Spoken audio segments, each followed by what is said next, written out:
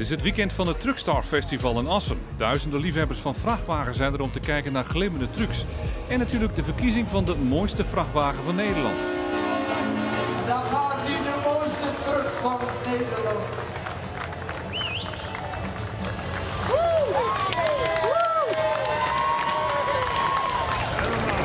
Die is binnen, ja.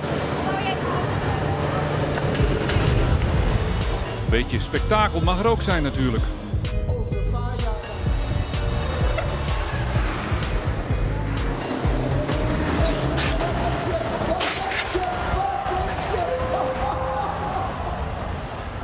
Testen van je rijvaardigheid, want zo makkelijk is het niet. In de moderne auto's waar je vrij hoog zit, kun je voor je niet zoveel meer zien.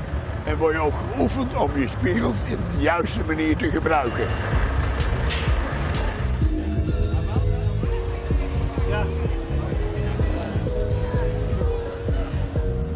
Ja, en als je winnaar bent van een prijs, dan heb je veel bekijks. Als je wel een beker hebt, maar niet de hoofdprijs, dan heb je iets minder bekijks. Maar ook daar is flink gepoetst, zo kun je zien.